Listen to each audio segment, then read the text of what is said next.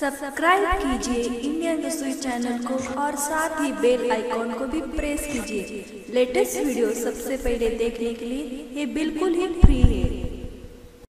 नमस्कार दर्शकों, आपका स्वागत है इंडियन रसोई चैनल में। आज मैं आपको बंगाल की बहुत ही फ़ेमस रेसिपी यानी कि रसगुल्ला बनाना सिखाने वाली हूँ। बहुत से लोग इसे स्वीट में खाना पसंद करते और ये बहुत ही स्वादिष्ट रेसिपी है। तो चलिए दोस्तों, हम रसगुल्ला बनाना शुरू करते हैं।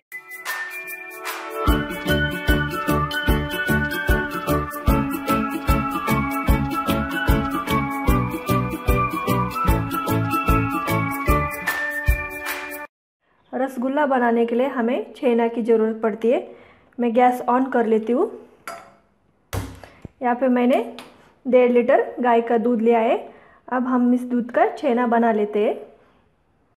दूध को अच्छे से उबाल आ चुका है।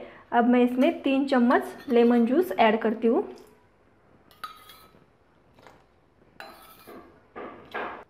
अब हमें इस दूध को फाड़ लेने का है, यानी कि छेना बना लेने का है। मैंने इस दूध को गैस से उतार लिया है और ये देखिए, हमारा छेना बन के रेडी हो चुका है। अब मैं इसे निकाल लेती हूँ। यहाँ पे मैंने एक पतीला लिया है। इसके ऊपर ये छन्नी रख देती हूँ और मैं इसके ऊपर ये जो सूती कपड़ा लिया है, वो डाल देती हूँ। अब मैं ये छेना इसके अंदर डालती हूँ।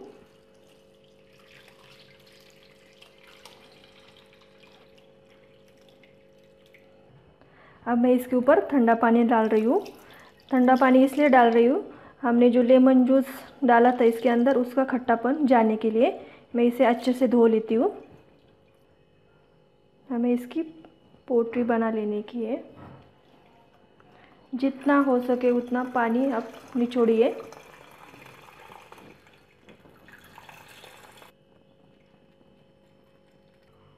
अब मैं इसकी गांठ बाँध लेती हूँ और इसे आधा घंटे के लिए छोड़ देती हूँ इसे। इस तरह से, ताकि जो बचा कुचा पानी हो, वो सब निकल जाए। अब हम रसगुल्ला बनाने के लिए चाशनी तैयार कर लेते हैं। गैस ऑन कर दिया है। यहाँ पे मैं चार कप पानी डाल रही हूँ।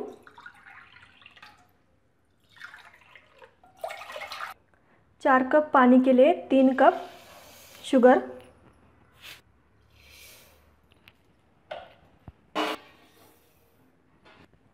इसे अच्छे से उबालने देते हैं।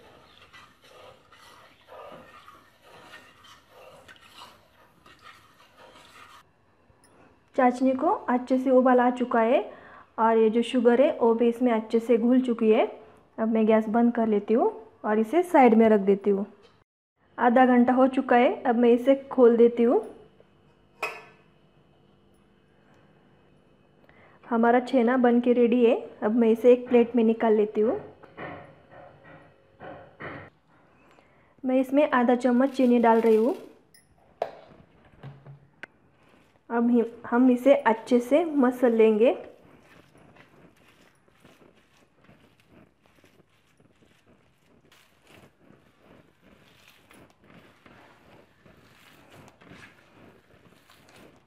हमें तब तक मसल लेने का है, जो हमने इसके अंदर चीनी डालती है, वो इसमें पूरी तरह से घुल जानी चाहिए।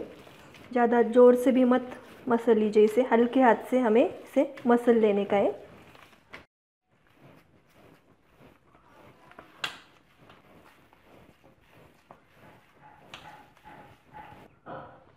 मैंने इसे हल्के हाथ से अच्छे से मसल लिया है। अब मैं इसके गोले बना लेती हूँ। ये अच्छे से मुलायम भी हो चुका है।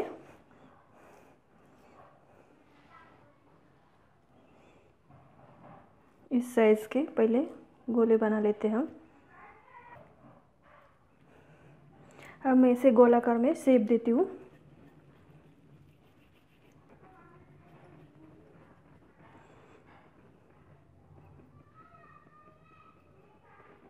हाथ को देखें, घी छूट चुका है।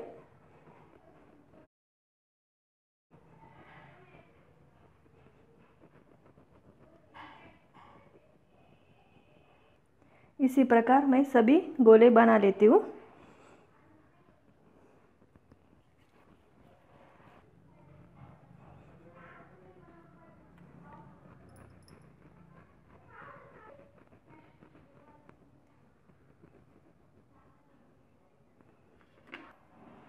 इस प्रकार मैंने सारे गोले बना लिए।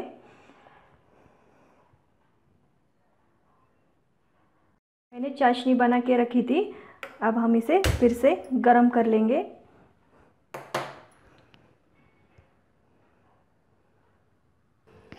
चाशनी को अच्छे से उबाल आ चुका है। अब मैं इसके अंदर एक गोले डालती हूँ।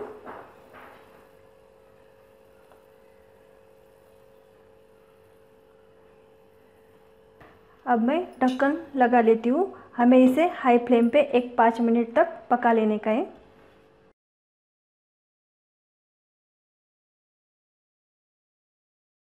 पाँच मिनट हो चुके हैं। अब मैं इसमें आधा कप ठंडा पानी डाल रही हूँ और फिर से इसे ढक्कन लगा के और एक हाई फ्लेम पे पाँच मिनट पकाऊँगी। ऐसा हमें तीन बार करने का है। ये इसलिए कि हमने जो चाशनी बनाई, इसकी शुगर ना होने पाए इसलिए। मैं ढक्कन हटा लेती हूँ। मैंने यहाँ पे तीन बार पाँच पाँच मिनट के लिए ढक्कन लगा के हाई फ्लेम पे ये रसगुल्ले पकाए थे। ये देखिए कितने अच्छे से ये फूल चुके हैं। अब मैं गैस बंद कर लेती हूँ। हमारे रसगुल्ले बन के रेडी हो चुके हैं। दोस्तों, अगर आपको मेरा ये वीडियो अच्छा लगा हो तो प्लीज़ इसे लाइक कीजिए और हमारे चैनल को सब्सक्राइब करना मत भूलिए। धन्यवाद।